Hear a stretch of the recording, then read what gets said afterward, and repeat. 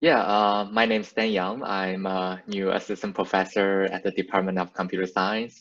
Uh, my research background is in the area of systems and networking, and my focus is to build um, efficient and uh, reliable data center systems, um, including cloud operating systems, um, distributed computing frameworks, and uh, data center scale computer networks. Um, Duke is one of the best universities in the world, and we have a very strong and fast-growing uh, computer science department. Uh, when I was a PhD student, I read many great uh, research papers produced by Duke faculties and uh, students.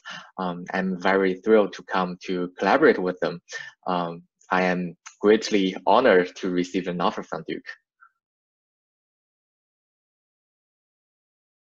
Um, one of my research goals um, is to build uh, systems and tools that allow users to manage their computation, uh, communication, and storage of large amount of data in the cloud with a high degree of resource efficiency and uh, reliability.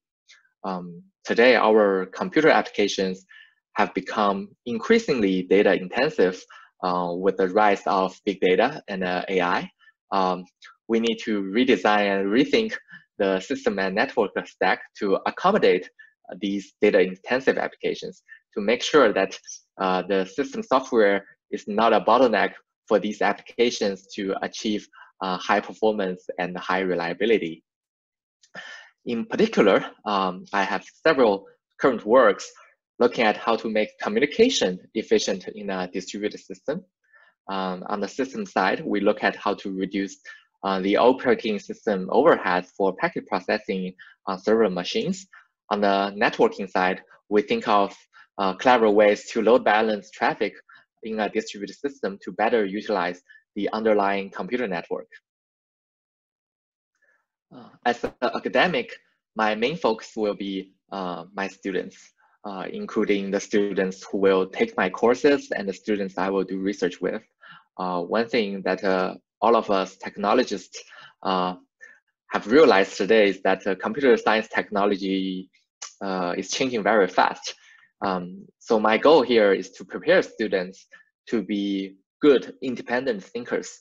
Uh, this means I need to not only teach students uh, the fundamental computer systems principles, um, but also help them develop the ability to reason about uh, and adapt to technology trends after they graduate from Duke.